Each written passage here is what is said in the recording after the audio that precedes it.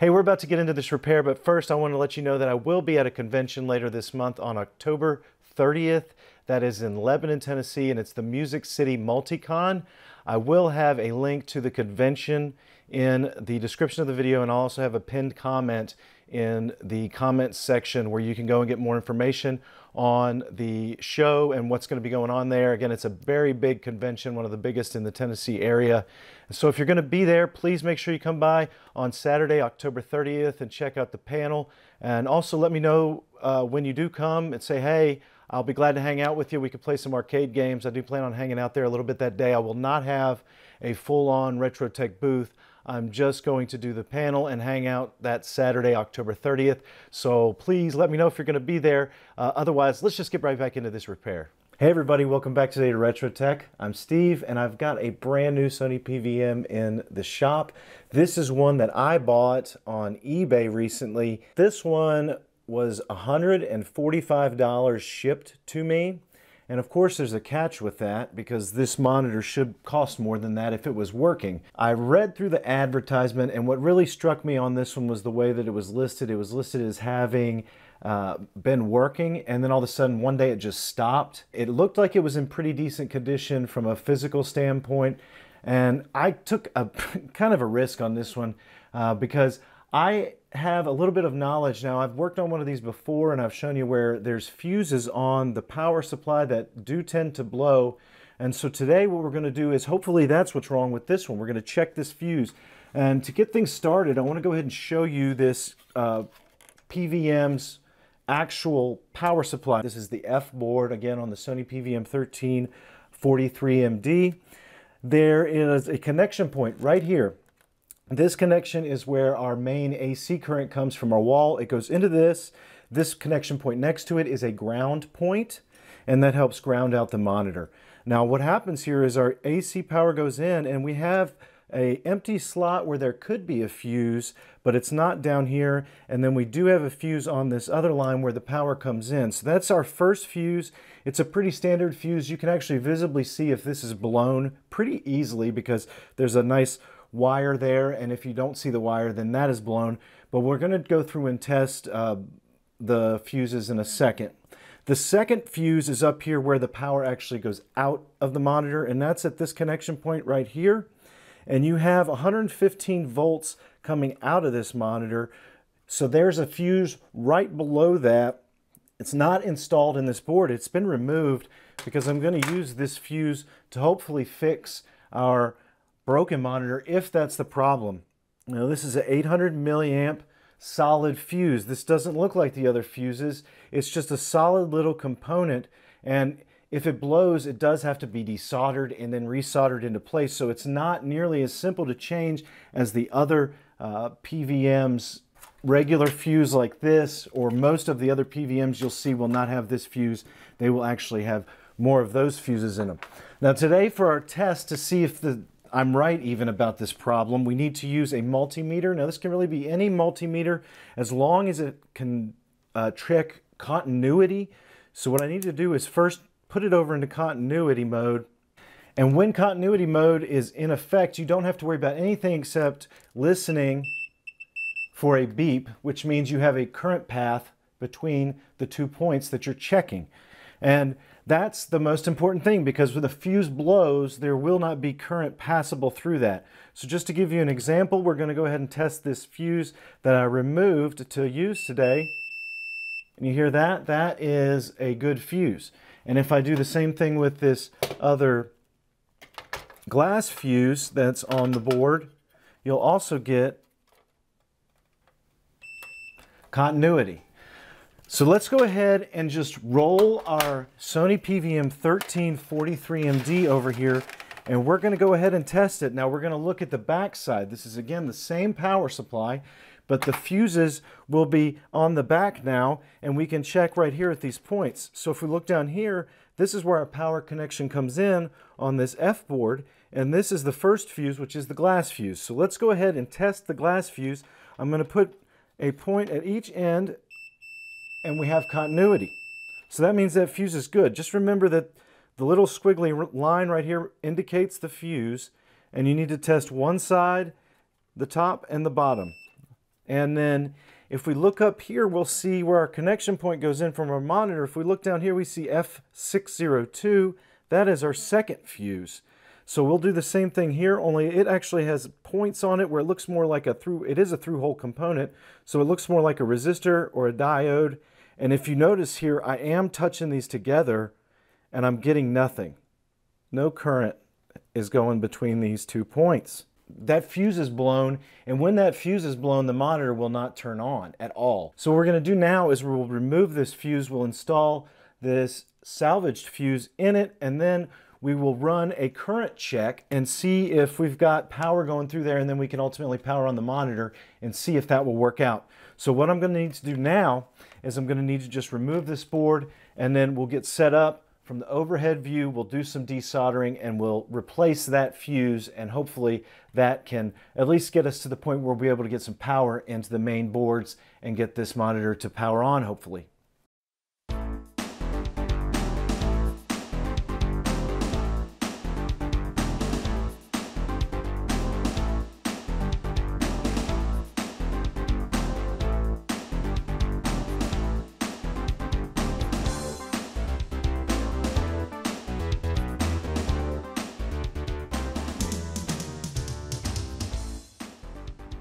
Let's go ahead now and get started on this repair. Again, our fuse is right up here. That is bad.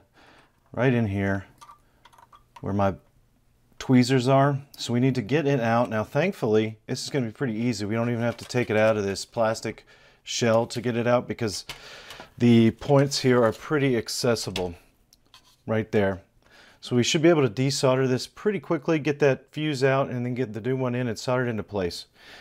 Now as I get ready for this, I'm going to let my Hakko FR301 warm up and I'll tell you about the unboxing I did on this because it was shipped to me again from eBay from Chicago and honestly this monitor was the worst packed CRT I have gotten maybe ever and it was really a miracle this thing did not come to me destroyed.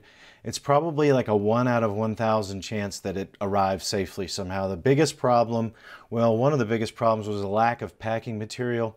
There was only one maybe 10 foot, 8 foot length of bubble wrap wrapped sporadically around the monitor, and one piece of gray foam that was a little bit protective.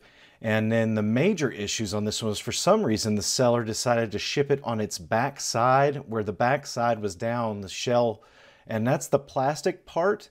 And somehow it still survived. It was in a single layer pretty crappy box that didn't have much room. When it arrived to me, I could see holes through the box where I could see the bottom of the monitor, and I honestly thought there was no way it was going to survive the shipping. But then I opened it, and somehow it did. I mean, nothing was broken. I can't believe the neckboard wasn't broken. I can't believe any of the casings weren't broken, because I have shipped things you've seen and, and packed them a hundred times better than that and had them break. All right, well, our, our uh, tool's ready to go here, so I'm going to start by just heating up these points and getting rid of that solder.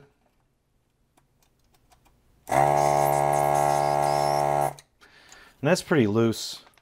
There's a old fuse will just fall out. And we can take a look at it. See, there's no real visual indication that this would have blown, so you would never know unless you did a continuity check on it. So again, just to show you for sure that this one's blown and uh, we can go ahead and double run that continuity check. And we should have passed through and make noise. We're getting nothing as I probe those. Whereas if I probe this one, I'll get a beep. So really this is going to be simple. This is a through hole component and all it needs to be do, it doesn't, it's a fuse, so it doesn't really matter which way it goes in. There's not a for example, positive or negative side. Just needs to go in the spot. And then you can come in here and kind of push the legs out so it can hold itself a little bit. And now just take a regular soldering iron and go in here and resolder this into place.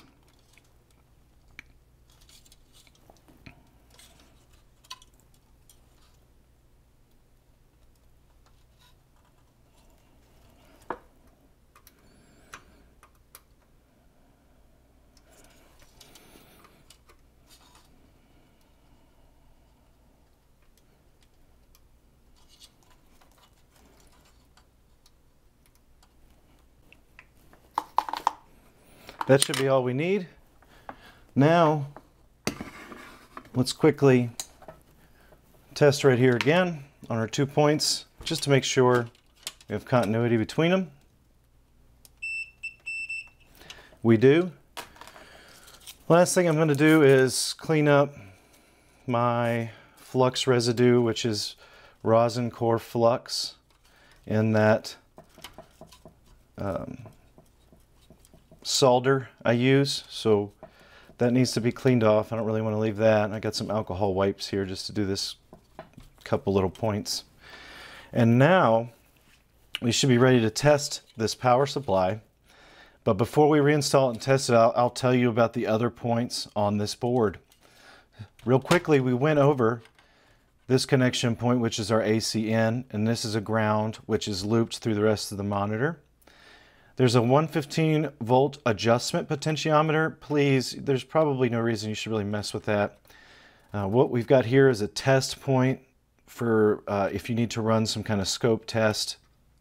There's probably one listed in the manual. And then this is our main power out. So this one's running off a little bit different voltages than others.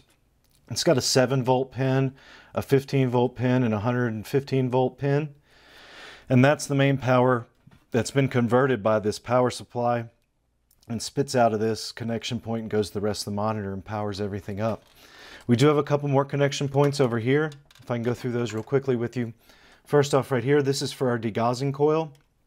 That's what helps us clear up our purity and magnetisms issues each time we restart a CRT.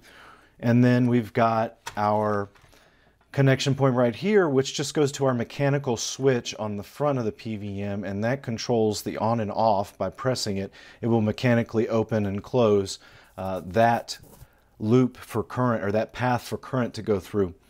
So it's a pretty decently designed power supply, one that works rather well, and hopefully this fuse change will take care of our issue. All right, we're ready to run our first test since replacing the fuse. Again, that's all I have done to this point. And what will happen here is this monitor will either turn on or it'll partially turn on or the fuse could pop again if there's some issue that actually causes the fuse to pop. The fuse can pop if there's some kind of random surge through the monitor. So, well, let's just go ahead and try. The first thing I'm gonna, there's no menu on this monitor, so we'll just have to wait for a second and give it a second to power on if it powers on. Here we go. And look, I can already tell it's powered on. You hear it? Got power to the tube. And let's see, we've got it in RGB. Let's just go with a simpler input. I'd rather do something that we can get on here quickly. So let's try S-Video. Okay, let's send a signal now through this and see if we can get S-Video to produce an image. Should be a VTR button.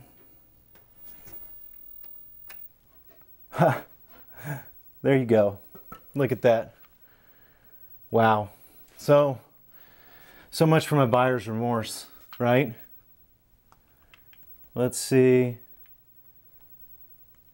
how it looks. I mean, just to start again, running S video. Yeah. I don't see really any purity issues. It's like a good tube. Oh yeah. Just a little bit of work, but let's let it run for a while and see how it looks after it gets warmed up. Well, the PVM's been running for about an hour and it seems to be pretty stable. I didn't see any hiccups in the screen or anything, no unusual sounds, or really any problems that I can detect from the way it's working right now. So it looks like the only problem was that blown fuse. You know, there's a couple reasons I'm showing this too. It's not just to show that you can get a good deal sometimes, but uh, the person who sold this to me, I mean, if he had maybe or she had taken the time to uh, either send this to somebody that could have tested this, it's not a very difficult thing to check. Actually, most of the time, if you have an issue with an electronic item, and anybody who knows about electronics and owns a multimeter would be aware of like a fuse situation. If you own one of these PVMs, all of a sudden it stops working one day, check these fuses. This tool costs $20. The part is probably less than $2.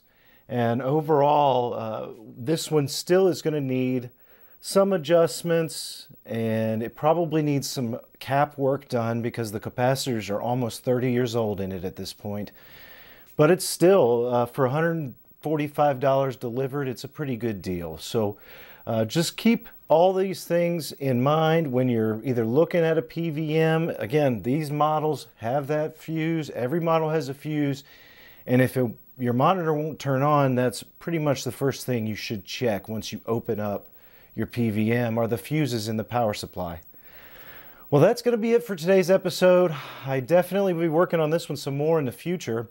It's just going to have to go back in the waiting area though for now because I've got other things that are more important to get to. Let me know what you thought of today's repair video with a comment below. And also, what do you think about that packing job? I don't think I'll ever see another PVM packed like that that will survive again. But hey, thankfully this one did. And now it looks like it's going to be good. So uh, that's all a win-win situation. And thanks again for watching. I'll see y'all next time with some more retro content.